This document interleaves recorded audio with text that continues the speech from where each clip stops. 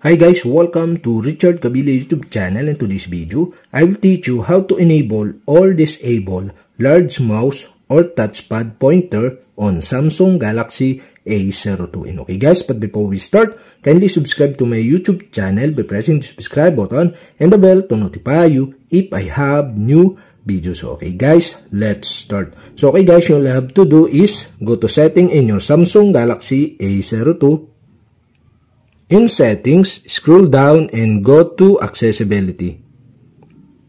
In Accessibility, go to Visibility Enhancement.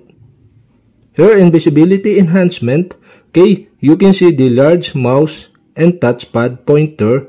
And on the right side of this, you can see the switch button. And okay guys, to enable this, okay, you'll have to do switch on the switch button on the right side.